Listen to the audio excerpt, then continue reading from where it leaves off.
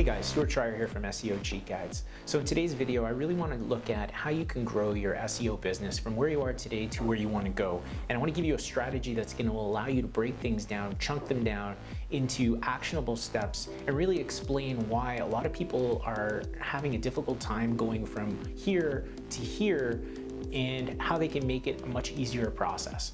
So we're going to be using a strategy that Tony Robbins has developed. It's something that I've been using in my life quite a bit and I, I really find it to be effective. He calls it the RPM strategy. So if, if you want to learn more about how Tony explains it, by all means, jump on YouTube. There's tons of videos, RPM strategy, Tony Robbins, you'll find it no problem. So really what this breaks down to is you want to start with your outcome, right? So many people like they get to their desk in the morning and the first thing they want to do is write out a to-do list and then they start on their to-do list. You know maybe they start with a priority or or they just bang through the easiest things. And you know they end up doing a lot of tactical things that aren't necessarily driving them to an outcome so how you start this process is you start with the end result, right? I mean, this is a, a, theme that you hear from Stephen Covey, start with the end in mind. All kinds of gurus talk about it in the same way. Tony's method is a little bit clearer in my mind, but I mean, you've probably heard this before, but it's just a matter of now conceptualizing how you can bring it into your SEO business, and you'll see how easy it will make going from here to here in a digital marketing agency, which is really the outcome that I'm hoping for from this video. So start with the outcome. Once you have your outcome and the result you're trying to achieve, then you move on to the why. The why is really what powers up this goal, right? So the why gives you a very clear understanding of where it falls in your priorities. You know, we all have huge demands on our time and we're all distracted by all kinds of things. YouTube, Facebook, uh, you know, latest episodes of TV shows. Maybe you want to watch the Super Bowl. Maybe you want to go to the bar and have some beers. Maybe you want to go to the gym. Whatever the case may be, the why really gives you the focus to say, where does this fall in my priorities list? So, you know, Tony likes to say, reasons come first, actions come second, and, and really that's what it is. It, it's what powers up your ability to focus and have perseverance when you're going after a goal. And then the last step is massive action, right? And massive action is just there to say there are plenty of avenues to get to a result, right? Like there's not just one way. If you wanted to lose weight, you know, you can go to the gym and work out with weights, you can do cardio, you can do, you know, strength training, you can do um, CrossFit. There's hundreds of different things that you can do to get to the goal if the goal is to lose weight. And it's just a matter of observing what works for you, tweaking it, and moving towards that goal. So it's no different in your digital marketing agency. There's tons of ways to grow a business. It's just a matter of where are you trying to get to and what is the most efficient way for you to get there. All right, so let's connect the dots here and go back to digital marketing SEO.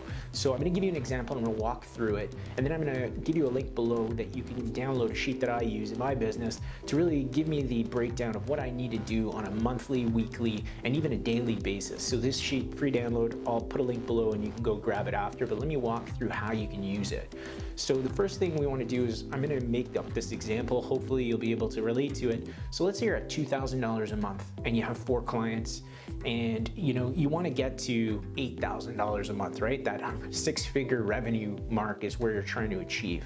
So you have 2K a month, you have four clients, you have an average that's $500 a month per client. You're trying to get to eight. The difference between the $8,000 a month you're trying to get to and the two that you're at is $6,000 a month is what you're trying to kind of grow. That's the delta between where you are and where you want to go. And we know your average client's 500, so 6,000 divided by 500 is 12 new clients. Again, you don't need to worry about the math. The spreadsheet will do everything for you. I'm just gonna give you kind of the walkthrough and you know, you'll be able to follow along once you have the spreadsheet in front of you. So you need 6,000, you need 12 new clients. So now we have a couple of numbers that we need to understand, right? You have leads that come into your business. You're gonna convert a certain amount of leads into clients. So we need to understand kind of what that number is. That conversion number is really important. So for the purposes of this example, I'm gonna assume that for every 10 leads you talk to, you land one client. That gives you a 10% conversion. Some of you are gonna be much higher, some of you may be lower, but I think 10% is pretty realistic for anybody at the beginning of the journey of kind of growing their business. 10% should be something that's really easy for you to achieve and something that you're going to improve over time. As you improve it, you're going to become more efficient and you're going to have to do less. So, you know, you might get to a 20 or 30% conversion. So you only need less clients or less leads in order to land those clients. But for today, we're going to assume 10%. So we have 12 clients that we're trying to get to. If we have a 10% conversion rate, that means we need to talk to 120 leads. Right? 120 leads times 10% gives us our 12 clients times 500 gives us our 6,000 a month. Easy math. Let's continue along. We need to figure out how many companies we need to reach out to in order to get 120 leads over the next four months. So we're gonna do the math there, and this is another conversion rate.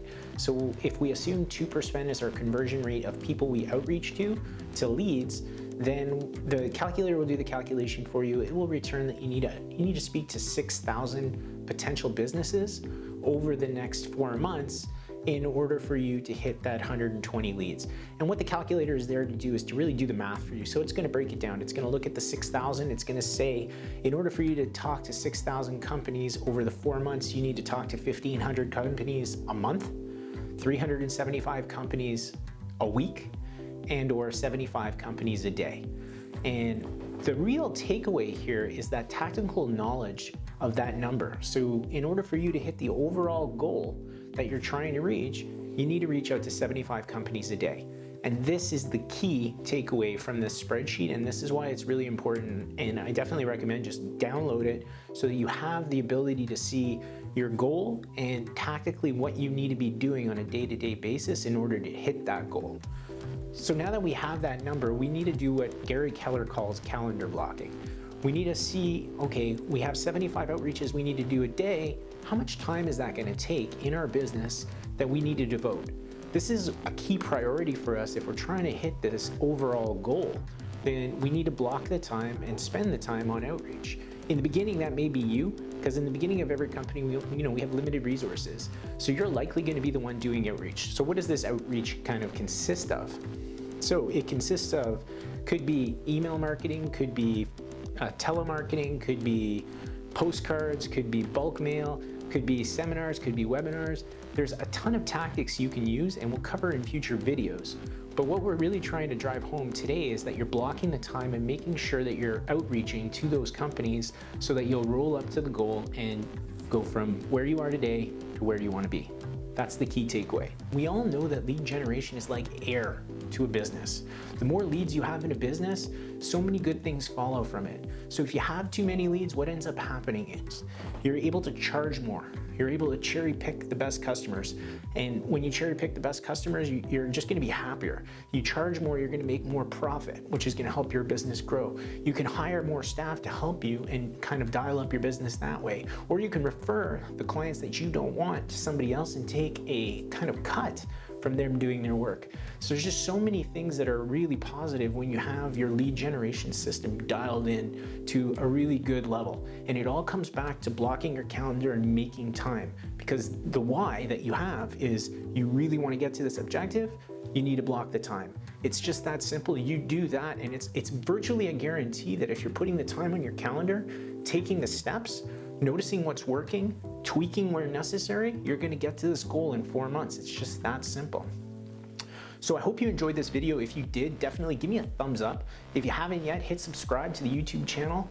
I'm gonna be 10xing my company over the next 12 months. And really what I'm hoping to do is share some tips, strategies that I'm using so that you can make your journey that much easier. So I hope you enjoyed this. I'll see you in the next video. Don't forget to download the free spreadsheet that I'll provide below. And um, thanks a lot.